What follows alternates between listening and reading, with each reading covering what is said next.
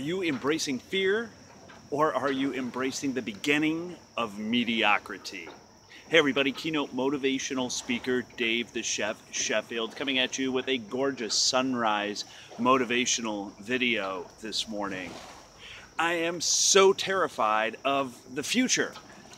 I tell you what, this time of year, right now we're in, in the fall season in the Northern Hemisphere right now. And in North America anyway, many children are going back to school and understandably they have some anxieties, especially if they're starting a new school or, hey, you know, will I make any new friends or whatever. You know, they're very uh, timid or apprehensive, if you will. And unfortunately, a lot of times as adults, we don't grow out of that. We grow so comforted by our surroundings that we're afraid to grow. So, how do those super high achievers, how do those people that really crush it in life do it? One, they believe and understand that, hey man, there's some fear, there's some anxiety, and it is part of the journey.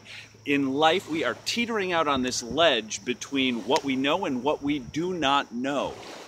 And all learning is, folks, is simply embracing all these surrounding things, whether they're inside of the classroom, outside of the classroom, in relationships or what have you, embracing those and kind of putting them into this little cauldron of learning. So you understand that there's this ledge of uncertainty and leverage the ledge as best you possibly can.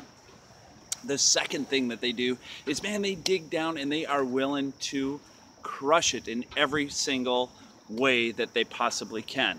Look, if you are drawing a breath right now, God put you here for a reason. You know, there's nothing that is more soul crushing than watching somebody settle. Settle for crappy relationships or settle for less than they possibly can be or, or what have you. And we all go through seasons where we settle, and that's how we know that it sucks. So, my challenge to you is what's one thing one what's one way that you can unwrap this wonderful gift that God has given you today in the present? And the third thing that they do is they absolutely track monitor and continue to pivot track, monitor, and continue to pivot.